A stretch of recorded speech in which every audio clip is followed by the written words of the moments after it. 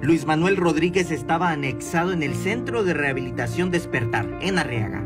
En la madrugada le dio sed y pidió agua. Le fue negada. Ante la insistencia, los padrinos lo golpearon y lo asfixiaron. Lo terminaron matando.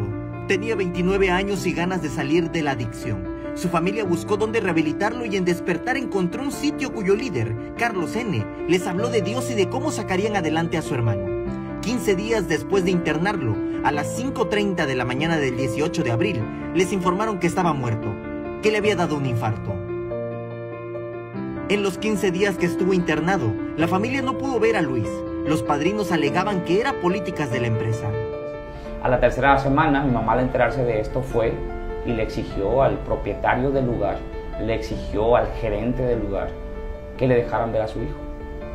Para ese entonces ya habían pasado 14 días que mi hermano estaba internado en ese anexo. Eh, sin embargo, ellos lo negaron rotundamente, dijeron, señora, usted no puede ver a su hijo. No obstante, el que no pudieran verlo tenía un porqué. Eran maltratados y con ello evitaban que se quejaran. Esto lo supieron posterior a la muerte de Luis, por las declaraciones de los internos. Al llegar el primer día de que te separan de tus papás, de tus familiares, literal, tú recibes una golpiza de bienvenida con un guarache. Esa es tu bienvenida. El primer día que tú vas, te golpean em, para enseñarte que debes de, respetar, que debes de valorar lo que afuera te daban y tú no valoraste. Eh, que no solamente eran golpes físicos, psicológicos, emocionales, e incluso tocó el tema de hasta sexuales. Em, a eso sumarle la falta de alimentación, la falta de agua, son privados, literal, es peor que una cárcel ese anexo. Ellos tenían derecho de tomar agua dos veces al día, 6 de la mañana y si te daba sed a las 3, a las 4, tú no tenías derecho de levantar la voz. En esas mismas declaraciones supieron la verdadera causa de la muerte de Luis. Tenía sed, pidió agua, pero le fue negada y lo golpearon, al grado que lo mataron. Me dice este joven, tu hermano solamente pidió agua por la madrugada.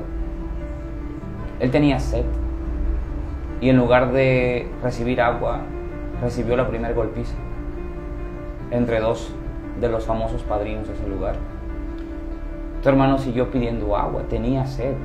Lo que hicieron fue vendarlo y después de vendarlo ya no eran dos que lo golpeaban, eran cuatro.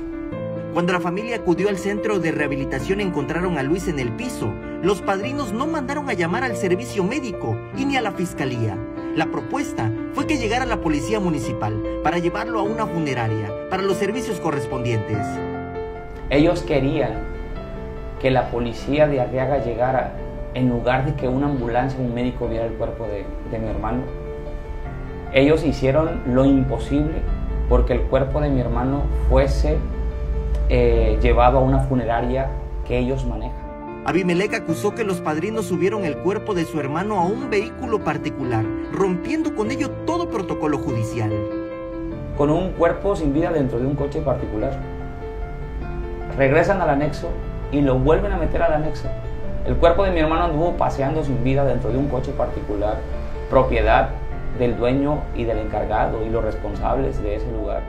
Después de la muerte de Luis, consiguieron que las autoridades prestaran atención a las condiciones de los 39 internos, cinco de ellos menores de edad. Catearon despertar y de acuerdo con información de la Fiscalía General del Estado, lograron detener y consignar a siete padrinos al Centro Estatal de Reinserción Social número 13 de Tonalá, quienes ahora enfrentarán a la justicia. Samuel Revueltas, Alerta Chiapas.